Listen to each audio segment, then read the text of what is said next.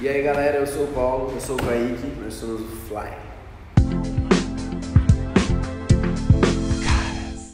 Não sei, na verdade, é, eu particularmente é é a DCP assim, a que eu mais gosto. Então, pra mim foi o meu voto desde o começo. Nossa, eu adoro ela, então foi por isso. Né, a gente na real fez até votação aqui na gravadora pra. Vai- umas a duas gente vai vezes. votando assim, tipo, dando pontos pras músicas, depois faz a média que ficou mais alta, a gente escolhe por unanimidade ali dos votos.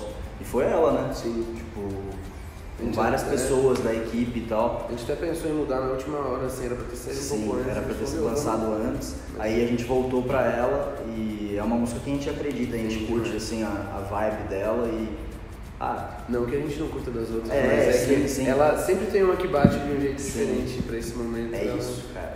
É, na real, a gente até ouve artistas que você vê hoje, pô, no próprio hip hop, que a gente acompanha muito, vários artistas, o cara não segue só uma linha de trabalho. O próprio Drake, que é um cara gigante do mainstream, tem uma música que é mais balada, uma que é mais rap rap, tem uma que é mais melódica, com refrão e tal. E a gente sempre gostou de vários estilos de sons.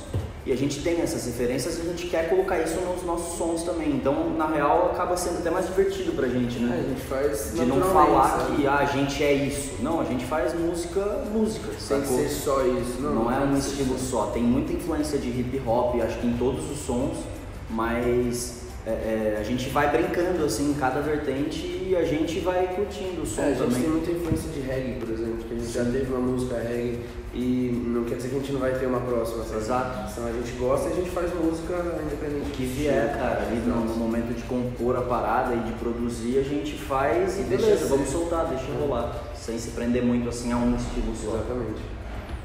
E aí galera da Caras, nós somos o Fly, muito obrigado pelo espaço e espero que vocês tenham gostado do nosso clipe. E fica de olho, vai ter muito mais trabalho até o fim do ano e mais uma vez, Dá um like, se Muito obrigado. aqui. E é isso. é nóis, valeu. Então para de tentar fugir.